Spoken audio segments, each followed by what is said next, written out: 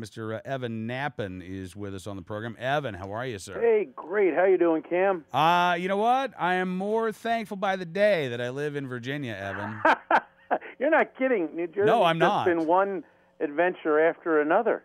uh, adventure. Yeah, Yeah. that's, that's nightmare. That's I mean, so I see this story on. Uh, I actually had somebody send this to me yesterday on Delaware Open Carry, uh, and I guess this is actually from New Jersey, right? It's from New Jersey, and it is a very uh, big story. It's going viral as well. It should because this is just a- an outrage. Yeah, absolutely, it is. So Shawn Moore lives in New Jersey. He, his 11 year old, the photographs taken with the 11 year old and his 22 caliber rifle.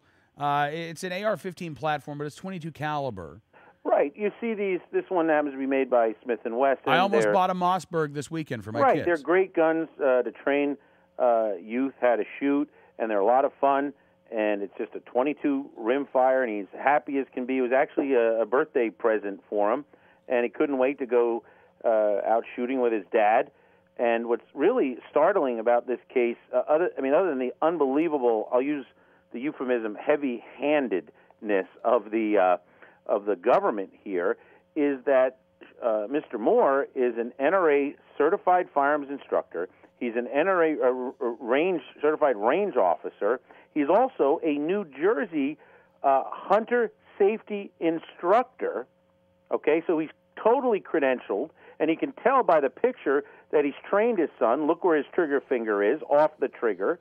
And I wish half of Hollywood would do that. You know, we'd be in good shape. Right. And then the son is licensed by New Jersey as a hunter, and in order to get his firearm hunting license, he had to pass the same course that an adult has to pass on firearm safety. So both the son and the father are trained, and uh, this is uh, absolute lawful gun ownership and what it's all about. Time to bond with your son and do some uh, shooting with a 22. And because he posted this photo on his Facebook, uh, you know, social media site there, proud of his uh, son and, and, and his nice uh, firearm here. Next thing you know, uh, he's got a raid at night last Friday of, uh, of family services, DYFS workers, and a cadre of police, four or so police, to raid his house, to want him to open his safe. Uh, the officer, because I was on the phone, this isn't even him telling me this, because he called me and I was on the telephone through this episode. Right. All right. And this officer, who's professional, but he uh, then the uh, DYFS were, we want to check about whether his guns are registered. Like this is their ploy, and we want to make sure they're secure. First of all, there's no registration in New Jersey. Registration is voluntary. The only time a gun is registered in New Jersey is when a handgun is purchased. That's it. There's no law charging unregistered guns. So the fact you want to check guns are registered when there's no requirement for guns to be registered is uh, wrong right out of the box. But then on top of that, to want to invade his privacy, invade his home, inventory his firearms, who knows what else, maybe seize them, threatening, you know, we're going to take your kids, we're going to, uh, uh, you know, employ uh, all these uh, sanctions if you don't uh, uh, do this. And, and, you know, there's this little thing called the Fourth Amendment. Okay, not happening. You have no warrant. A photograph of a smiling kid with his 22 is not probable cause to invade the man's house and uh, start a firearm investigation. Absolutely. It's an outrage, and you know it shows you the attitude that's out there in government. It's very scary. I mean, I don't. I know very few shooters who have kids that they take them shooting that don't have a picture of their kid with the firearm. I mean, Evan, honestly, so we, you know, we do on Sportsman Channel every Friday. I, I ask people, I say, send in your pictures of your weekend at the range.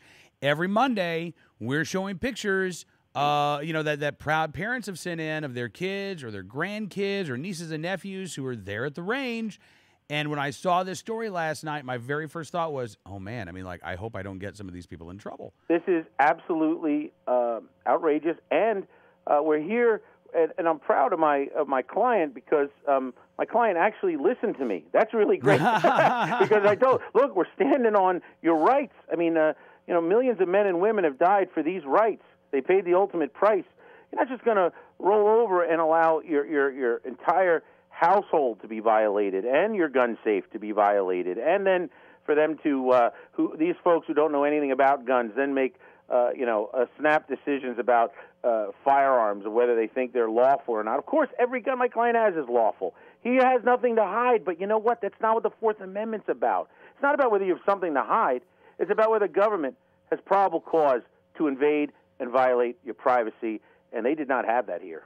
Well, and listen, uh, you know, Evan, I, I think uh, I, I started the show by, by by talking about this case, and you know, clearly it seems to me we've got obviously you guys have a ton of bad bills uh, that have been introduced in New Jersey. We've got the legislation we're dealing with at the federal level, and you know, in states across the country, but.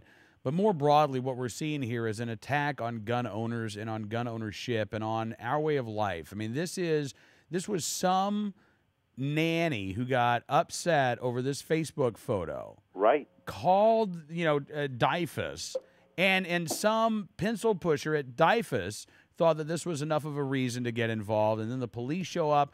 This is a good parent. This is an involved parent. This is a happy child. Uh, and again, our ability, what they're attacking is our ability to raise our kids as we see fit. You are absolutely right. This is a culture clash. I yeah. mean, this is our culture that I'm proud to be part of the gun culture, proud to be a, a benefactor member of the NRA. I am proud of this.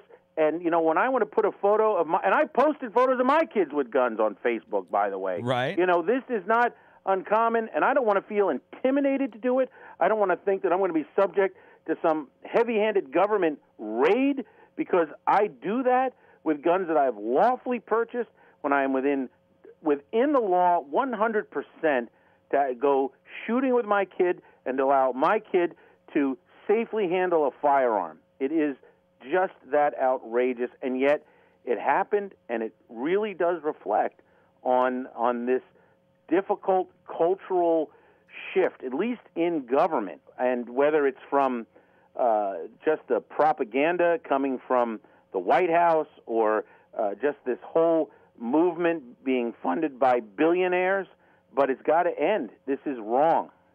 So, Evan, what's the latest with uh, Mr. Moore? Uh, I, I, understand that DYFS was still was still yeah. trying to get into the house. Right. They still apparently want to uh, see his guns.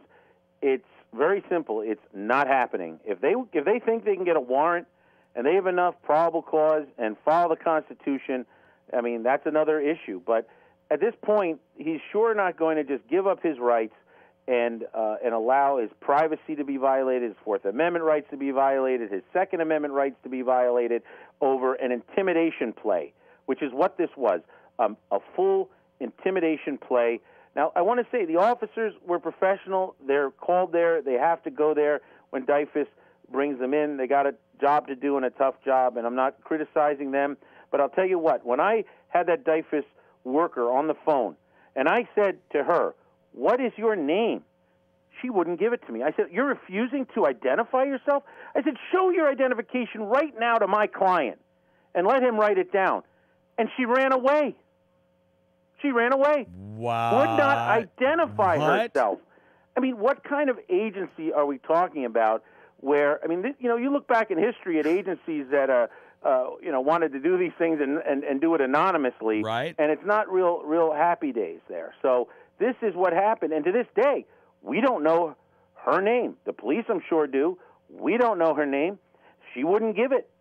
So not only that, uh, you know, this this outrage of trying to invade uh, this man's privacy, but then a refusal to identify herself when asked by his attorney on the phone while you're trying to make. We're going to let somebody who doesn't. I mean, even that is. Uh, someone who won't identify themselves, sure, come right in. You know, rape this guy's household. Go right ahead. Yeah, right. The fact that she ran away. Yeah, ran away. Rather than identify herself. Absolutely. You know, now again, I'm not a I'm not a trained psychologist, Evan, but that you know that may indicate that perhaps uh, she knew she wasn't on the firmest of uh, legal footing there.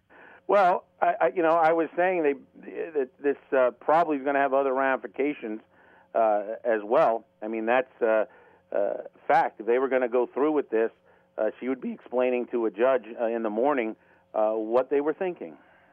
Well, yeah, and and Mhm. I hope so. And you know, look, I hate that this is uh, where we've gotten to in New Jersey, Yeah. but it's not going to get any better until we've got more people it like isn't. Mr. Moore standing up for themselves, standing up for their family, standing up for every other gun owner across the state well, of New Jersey. What's great is shows like NRA News. One of the best things we can do is let it be known, because this puts you know the light of truth on it. It puts uh, puts these people uh, on notice that you know we're drawing a line here. It's come down to that. We got to draw the line and protect not just the Second Amendment but the Fourth Amendment. I mean the the, the Bill of Rights is is the seamless web of protections, and each protection helps the other. And that's what this is about. This case is standing tall for that. Well, uh, yeah, absolutely right. Uh, listen, Evan, I appreciate you coming on the program. Sure, Anytime. give our best to uh, Shawn Moore and uh, I will. his son. Okay. Great talking with you, Cam. Take care. I'll see you in Texas, man. Yeah. Yes, All right. you will. Take care.